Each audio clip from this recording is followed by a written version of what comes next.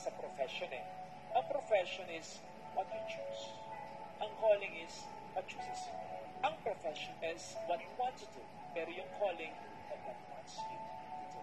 I pray and hope na kung anong estado mo sa buhay ngayon, sana nag-enjoy ka sa ginagawa mo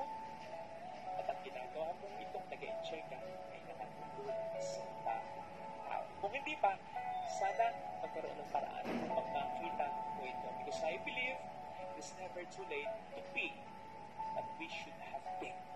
What God wants us to be. Especially if we know that ito ang magbibigay sa atin ng fulfillment